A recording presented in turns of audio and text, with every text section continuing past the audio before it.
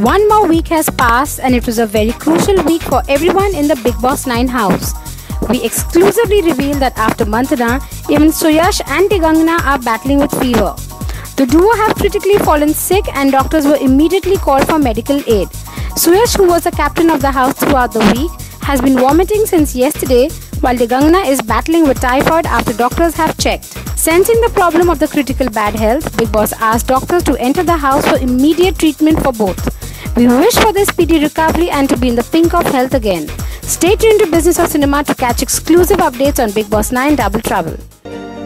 Hi everybody, I'm Shah Rukh Khan and uh, watch me only on facebook.com slash business of cinema.